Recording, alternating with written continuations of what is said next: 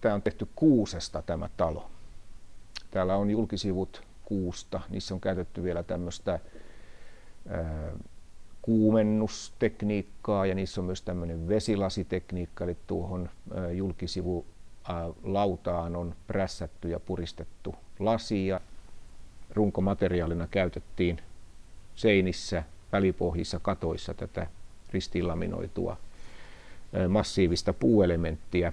Täydentävää työtä on toki tehty paljon, julkisivut on verhoiltu perinteiseen tapaan puulla ja tämä sali, missä me ollaan, tämä on käsityötä näiden pintojen osalta, mutta että niin, tämä runko saatiin nostettua pienessä ajassa tästä aineesta, niin tämä on tämän hankkeen erityisyys ja eräällä tavalla tämä antaa edistysaskeleita suomalaiselle puurakentamiselle.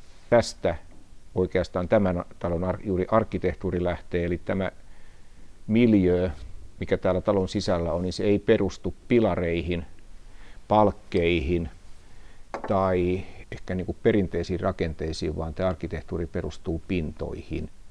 Näissä on hyvin kevyt tämmöinen valkaisukäsittely, joka sitten ehkäisee sitä, että tämä ei, ei kovin nopeasti kellastu ja ylipäänsä kuusi aikanaan, kun se kellastuu, niin se kellastuu hyvin nätiksi. Siitä ei tule semmoinen yltäkylläinen ruskeus, kun on, on, on männyn ongelma hiukan. Tämä on niin kaarnanruskea ulkoa tämä talo, mutta sisältä tämä on niin kuin sä halkasisit puun rungon, niin sulla on kaarna, joka on ruskea ja sisäpuoli on sitten valkoinen puu.